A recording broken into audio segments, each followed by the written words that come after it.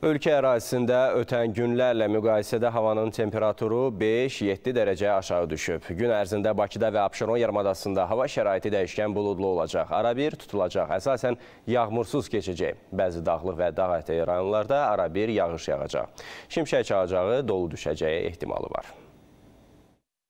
30-u və 31-də paytaxtda hava şəraiti dəyişkən buludlu, əsasən yağmursuz keçəcək. Lakin 30-u axşam və 31-i gecə və səhər saatlarında yarımadanın bəzi yerlərində qısa müddətli yağış yağacağı da ehtimal olunur. Mülayim şimal küləşəcək. Havanın temperaturu gündüz saatlarında 25-30 dərəcə isti olacaq. Yəni bu günlər müqayisədə havanın temperaturu artıq 31-də tədricən 2-3 dərəcə yüksələcək.